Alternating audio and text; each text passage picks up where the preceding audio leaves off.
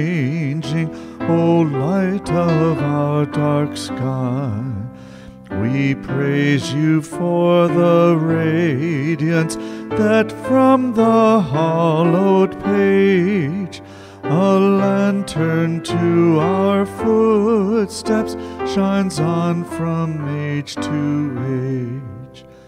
The church from you, our Savior, receive the gift divine.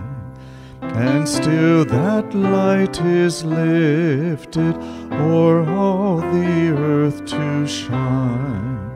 It is the sacred vessel where gems of truth are stored. It is the heaven drawn picture of Christ the living Word.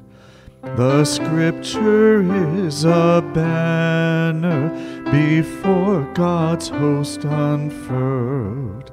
It is a shining beacon above the darkling world. It is the chart and compass that o'er life's surging tide Mid mists and rocks and quicksands, to you, O Christ, will guide. Oh, make your church, dear Savior, a lamp of purest gold, to bear before the nations your true light as of old.